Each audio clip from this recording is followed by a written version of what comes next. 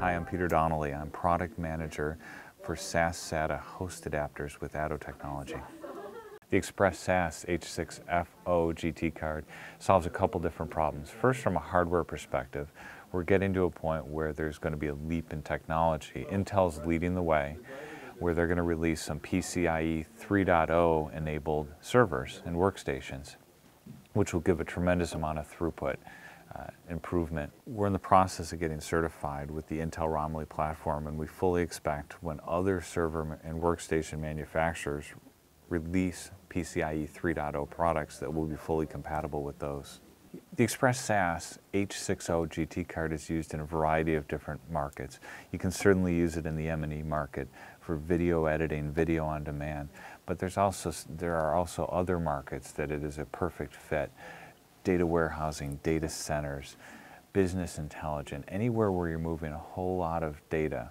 We've already benchmarked the product in real life applications at over 7,000 megabytes per second, and that compares to a theoretical maximum of only 8,000 megabytes per second. There's definitely other competitors in this market space, but we think that we're way ahead of them. We released our first version of the H6F0 GT card back in August of last year. So we've had almost five months to improve and really make sure that this card is interoperable with other servers and storage solutions. So we're very pleased with where we are in the marketplace.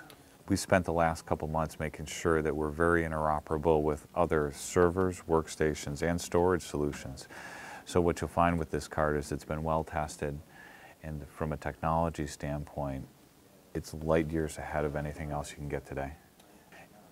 It uses mini SAS HD connectors, which are next generation connectors. And on the other side of the card, it's using PCIe 3 connections. So you get a huge performance increase from the PCIe 3.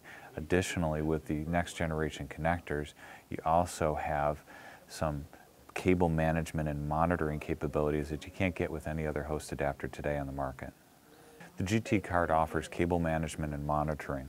What that means is that if you have thousands of cables in a large scale architecture, the GT card will help you identify poorly, poorly performing or failing cables, which right now is like trying to find a needle in a haystack.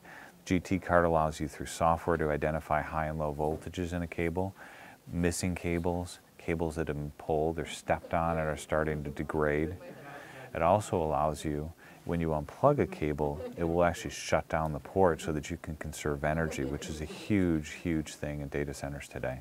This is the type of product that you're going to want to bring to high performance system integrators, folks that service banks, folks that service universities and Fortune 1000 companies. Those are the types of people that are going to use this product.